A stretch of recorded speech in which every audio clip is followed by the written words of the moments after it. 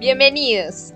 El día de hoy continuamos con nuestra serie de historia del maquillaje y comenzaremos con eh, los años de 1930 a 1939. Así que veamos. Podemos decir que el maquillaje en esta época ya va dejando de ser tan artificial y la teatralidad. Aquí con un toque más realista, lo que se busca es destacar la belleza de cada mujer, haciéndola sentir como una estrella. En esta época se pusieron de moda los deportes al aire libre y las comidas bajas en calorías. Todo este tema medioambiental trajo la moda de los colores de la naturaleza y las líneas de cosméticos antialérgicas. Aquí también se destaca Max Factor con eh, su salida al mercado con el producto de brillo para labios y su famosa base de maquillaje pancake.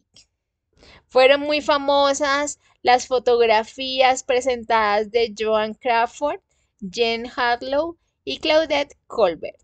Aquí se expande más y se pone más de moda los salones de belleza, incluso llegan hasta las más intelectuales. Puntualmente en 1932, la francesa Colette abrió su propio salón de belleza. Ella se destacaba por tener, por usar maquillajes inspirados en las mujeres sirias y los magos árabes.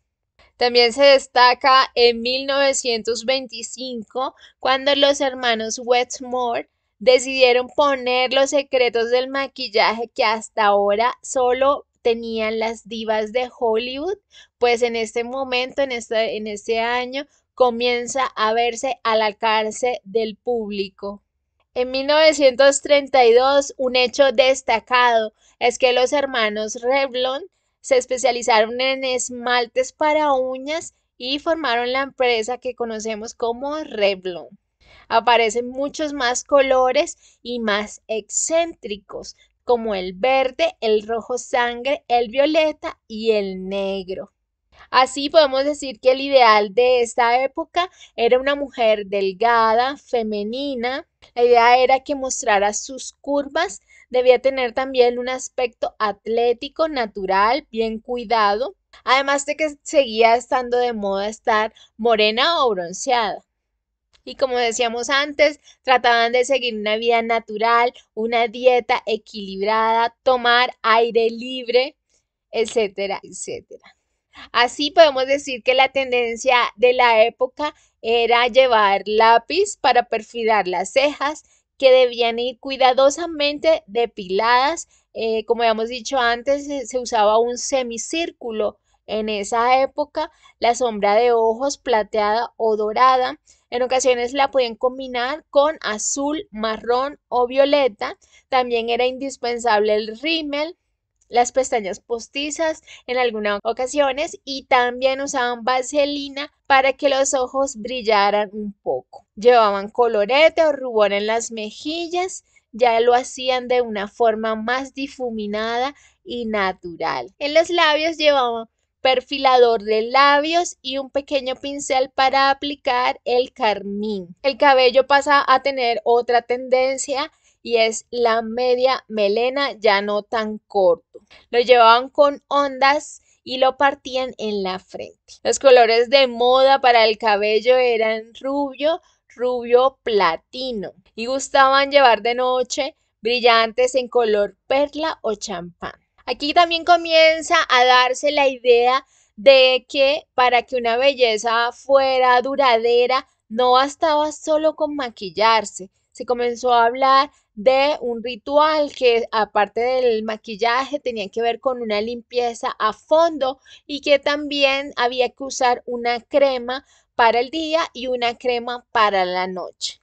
También lanzaron las primeras cremas antiarrugas enriquecidas con estrógenos y vitaminas. En el cine podemos decir también que trataron de acercarse eh, nuevamente a un ideal clásico griego, de tal manera que tanto la luz, el maquillaje, las sombras y todo el, el escenario ayudara a que eh, la mujer se viera como una escultura clásica. Y está aquí el tema de hoy. En el próximo capítulo hablaremos de 1940 a 1949.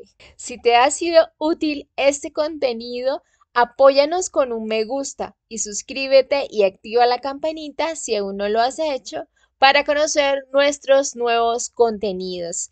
También puedes enviarnos tus preguntas o casos sobre peluquería, maquillaje y demás y asesoría de imagen al correo diceno y lo estaremos trabajando en nuestra sección de casos, preguntas y respuestas.